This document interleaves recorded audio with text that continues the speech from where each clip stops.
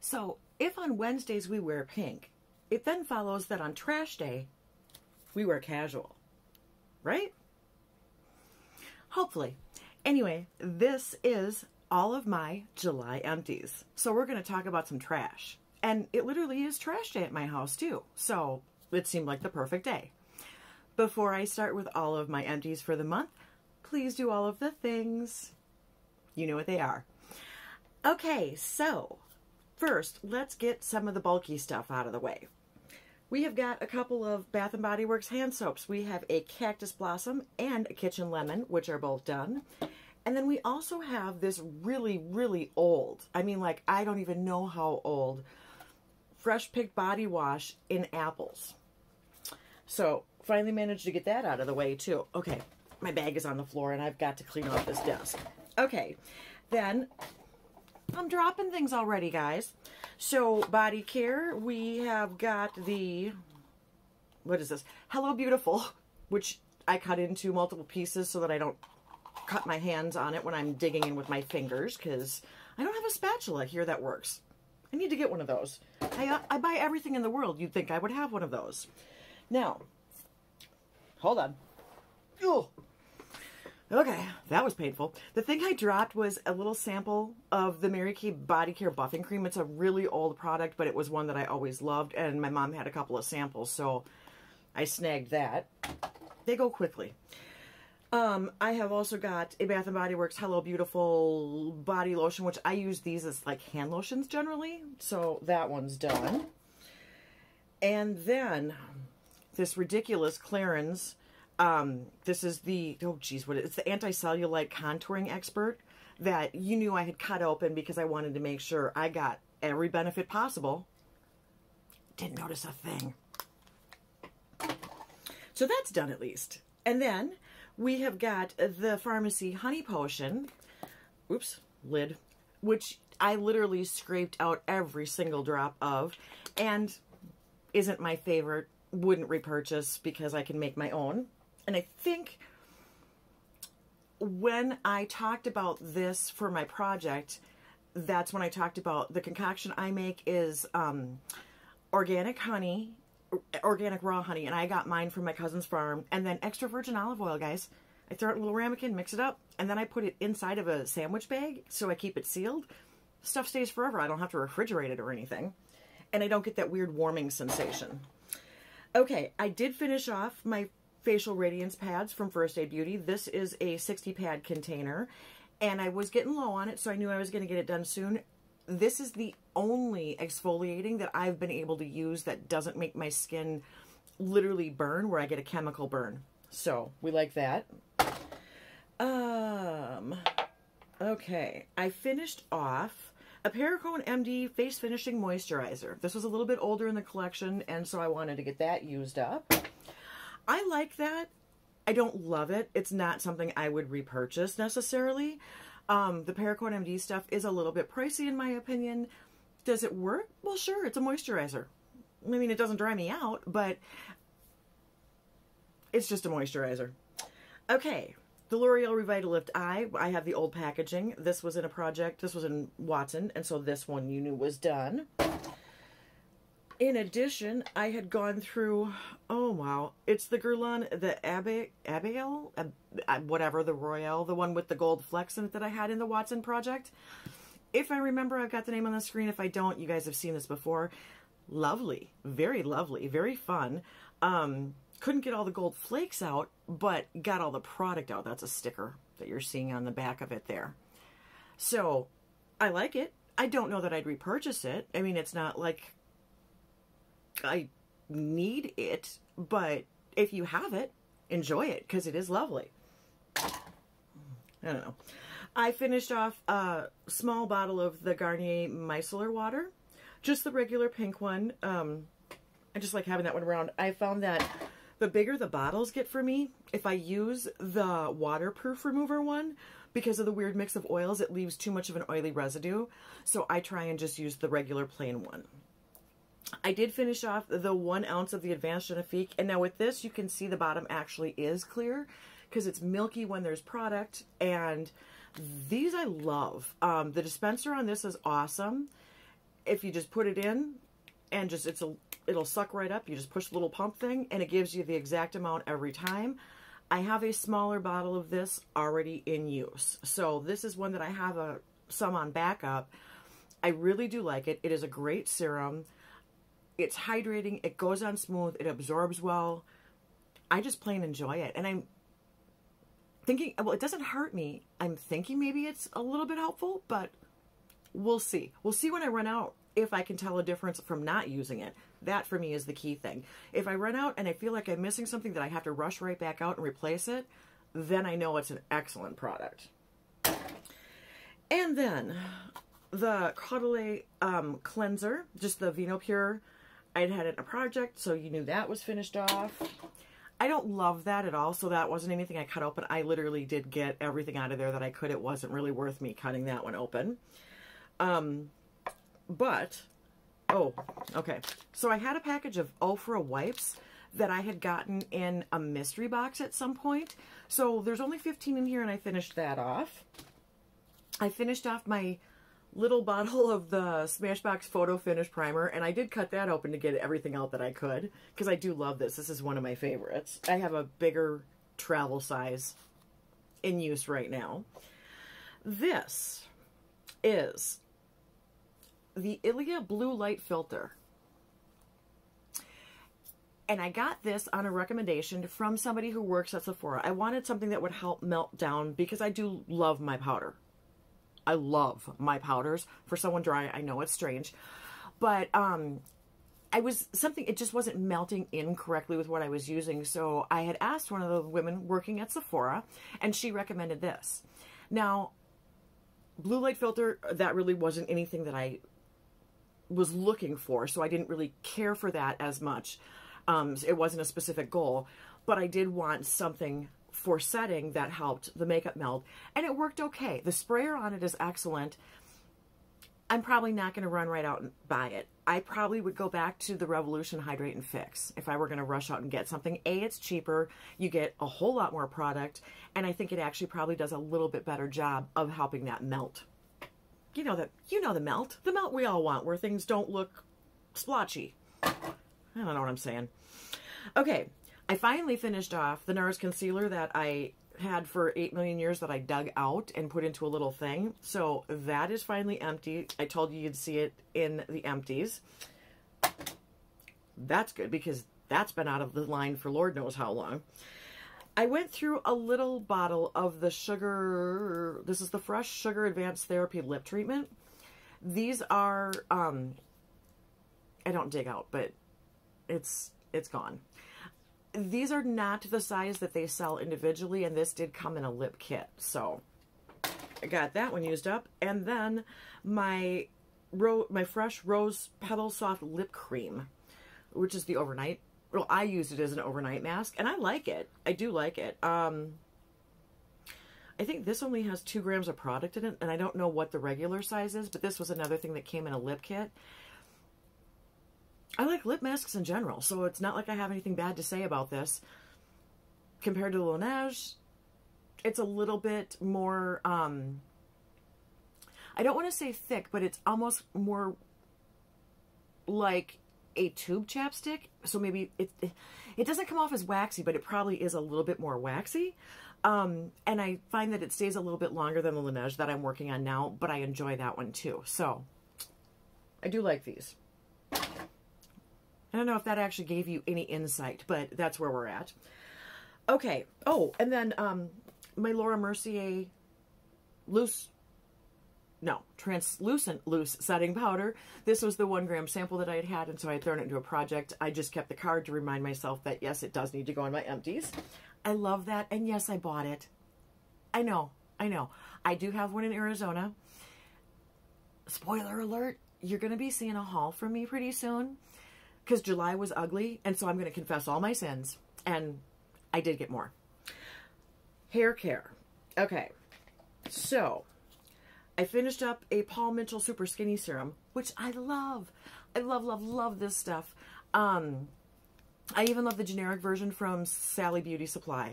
This is not an oil. It does not necessarily, well, it does absorb, but it isn't for moisturizing necessarily. It's more of a gloss and it makes things pretty and shiny. And when I straighten my hair, this is a lifesaver. I absolutely love it. And a lot of times I will even use it on like second day hair or third day hair just to give it more gloss. I don't have it in a day. This is just, this is just what you get. But this I absolutely love. Probably will end up in my life again the Not Your Mother's Clean Freak. This is just the refreshing dry shampoo and original. This isn't the tapioca one because I was looking about replacing to see like price wise and stuff. And there's a tapioca one that's green too, but this is just the original. I like this a lot. I'm working on an Eva NYC full size dry shampoo right now, which I don't like as much. This is definitely better. And I think it's cheaper too. They're both a little bit more drugstore priced, but this one is the better of the two. I did do a um, Alterna Caviar shampoo and conditioner. This is the multiplying volume one. It's fine. What can I say? Conditioners for me are a big deal. That's why I use a lot of hair masks. This gets super, super tangled and it is a pain to comb through and I shed like you wouldn't believe. So that I don't think really made anything noticeably different. And conditioners in general are not strong enough for me to use just a conditioner and call it good.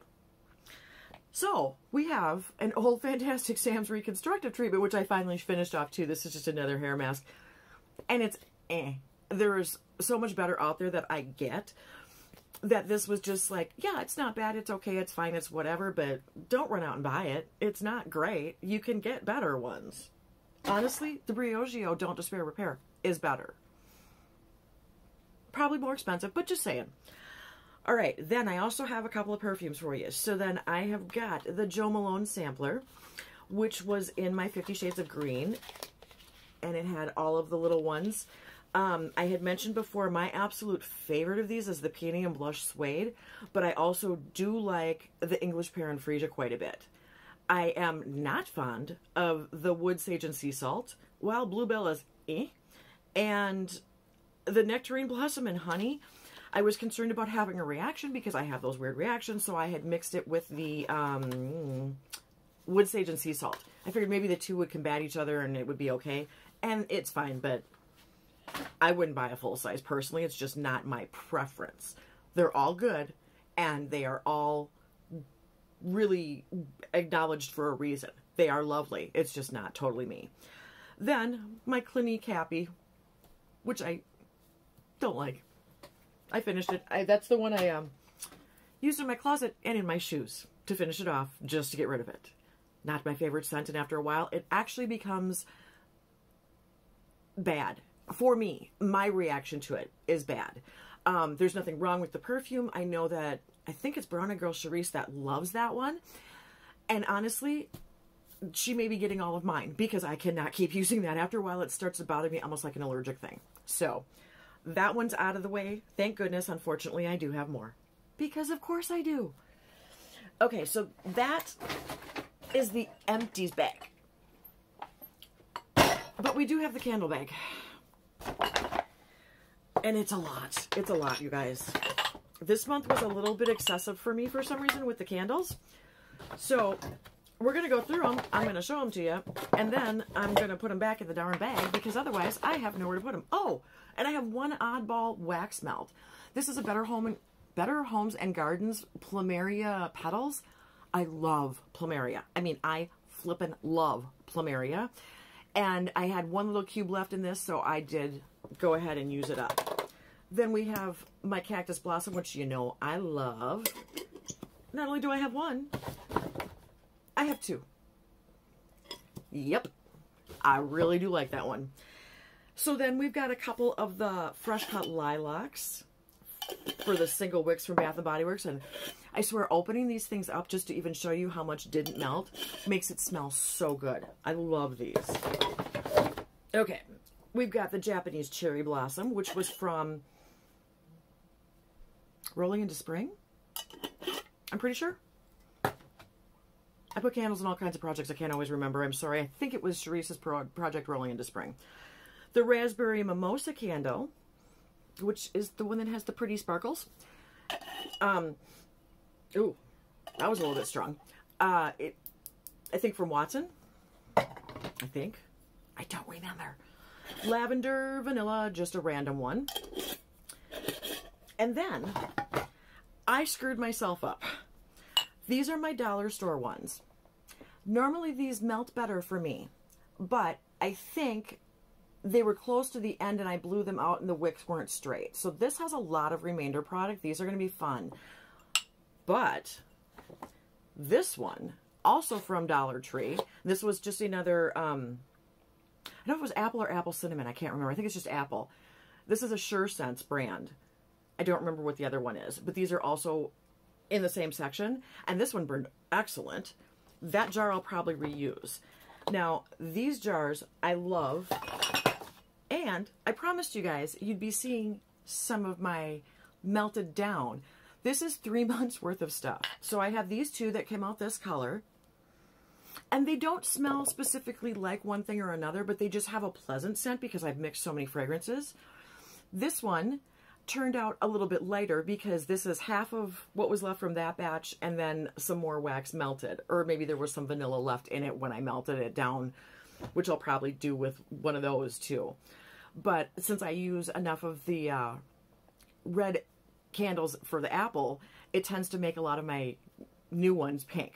So I made three candles this month and I think I had two or three months of wax empties chipped out, but Nope, that's not it. Where is it? Where is it? This is my melter. It's a Pyrex um, two cup anchor hocking glass melting thing. And I put this in the microwave.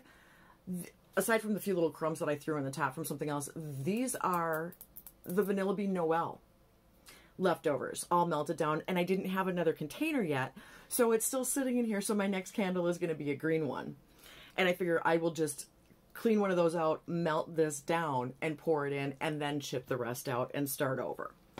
So, I figure that's a fairly successful month of July for me.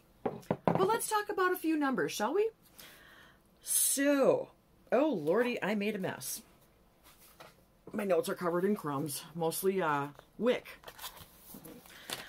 I went through $127.25 worth of candles and then the one wax melt, which was a $2 item. So that wasn't much.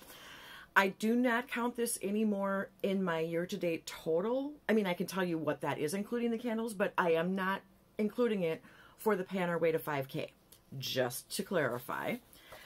So, for July, there were 29 items for a total of $414.06.